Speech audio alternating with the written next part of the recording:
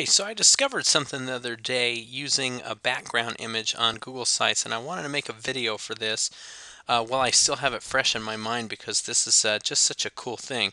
So um, what I'm going to be showing you today is how to make a how to take a large background image and uh, paste it in the the background of your website and there, I'm going to show you some of the options that Google Sites gives you and I don't know if they always did this or if this is something new, but uh, I certainly found it kind of exciting. So a little bit of background. Usually when I use background images on my websites, I actually use a small image that repeats over and over. So for example, if you look at the background of this website, there's a blue texture. And that's actually a very small picture that's about 100 by 100 pixels. And I paste it in and the same place I'm going to paste the other picture in is where I would put this in and then it just repeats over and over and that's what gives me this background because the problem with background images is uh, the size of your web page is different for each different page and how do you adjust and make sure that your background is the same no matter whether your web page is big or small and uh, what I discovered the other day is I realized that I could do the same thing with a very large image, and there's certain ways that I can adjust it to adjust for that variable, which was very cool. So let's go ahead and, and get to this. Um, what you're looking at here is uh, I, I, call this the ski plate template demo because the, the theme that I use in Google Sites is the ski theme. It's one of the newer themes they have. It's a very modern look and what I like about this is it doesn't really have a separate header. You can see the search this site. Um, notice that the background color is the same color as what's on the header and that's a perfect one to use for a large background image. So if you're going to do this, I would recommend using the ski theme. So let's go ahead and get to uh, pasting the image. So the first thing that I did is I found a very large image and the image I'm going to be uh, using is the background. It's a I, I did a skyline of LA and uh, I thought it looked really cool. It went perfect with this.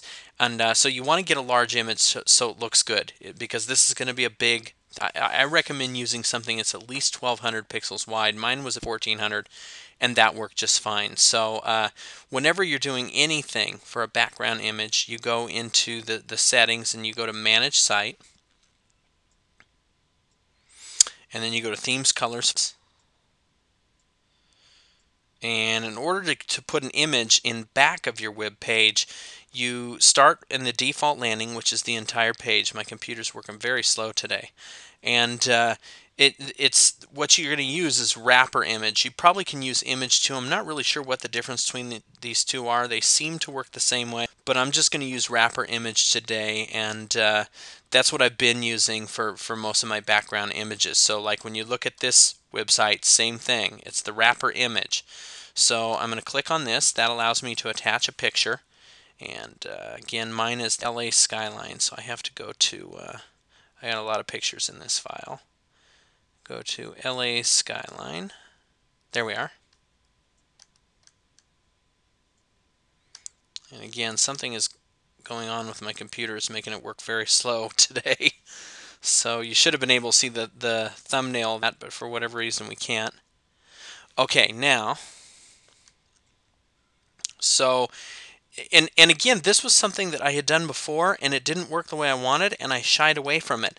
I want you to notice that it says options up here. So for right now I'm just going to save. They give you a little preview thing but you really can't tell what's going on in that preview bar. So if you want to see what something looks like when you do it, you click save and then you go back to your by hitting the name of your site it goes back to your home page and you see that. So okay that looks somewhat decent.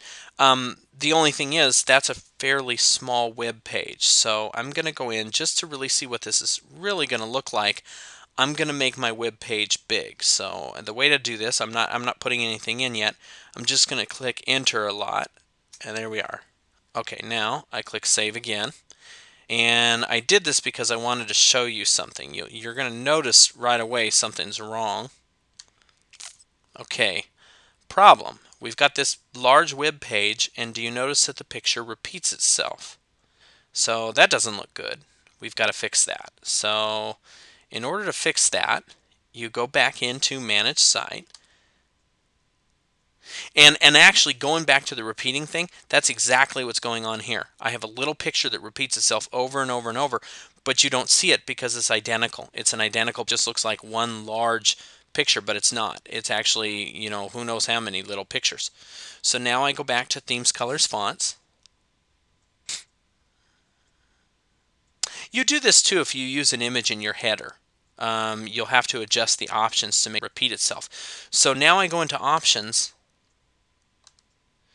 and I'm going to choose no repeat. I'll go ahead and line it up left. You can choose center and all this. Now I want you to notice these two things down here, fixed position, stretch to cover. For right now, I'm not going to mess with that, but this was the thing that I discovered the other day. Very cool. So uh, going back, so what I did is I made sure it doesn't repeat. Oh, wow, looks great. Everything worked perfect. Not really. See, my problem was my page is too large, so that didn't work. So what can I do? And this is where this is why a long time ago when I tried to use a few big pictures, I shied away from it because I don't know if they had the options and I didn't know about them or if I just didn't or if they didn't have them. I'm not sure, but I did this once or twice, and I, I, thought this doesn't really work for me, and I couldn't find a picture that was big enough to to work with what I'm doing. But you don't have to now. So, or maybe you never had to. I don't know. You go back again. We're going to go back to themes, colors, fonts. Always the landing is the entire page. Now, going back to options, this time what I'm going to do is I'm going to do stretch to cover. I'm going to click Save. We're not going to finish with this, but I want to show you what this looks like too. So, notice now that I have a background image the entire page, but do you see the distortion here? What it's done is it's stretched to cover this and it's distorted my image. So that was not a very good option to use. Luckily, it's not our only option. So now we go back to Manage Site. And again, when I discovered this the other day, it made me very happy because uh, now I'm probably going to use this a lot more knowing what I know. And this I wanted to make this video because there's I'm sure there's other people out there like me who didn't know how to do this before. And when I discovered this, I thought, wow, this opens up a whole new world for me because generally I've shied away from using large images in the background. No more. I'm going to unclick stretch and I'm going to click fixed position. And actually, what, what kind of made me do this is I was looking at a WordPress site and they had a background image and somehow it didn't move when you move the page. And i thought i wonder if google does that. Wouldn't that be cool if they did? And that's what caused me to come in and, and experiment with this. So now i click save. Go back to this. Now Top always looked good, no matter which way I did it. Do you notice that the background isn't moving? The front of the page is, but the back is not. Doesn't distort my image size. I have this clear, beautiful image, and it won't matter what size my page is. Whether I have a small page, large page, it's not going to change the background image at all. And again, that site was fixed image, and I'll go back one more time just so you see this this is huge. So basically now, if I'm going to use, uh, you know, if I'm going to build a site and I want to do a large background image, I'm always going to use this option. So again, just so you see this,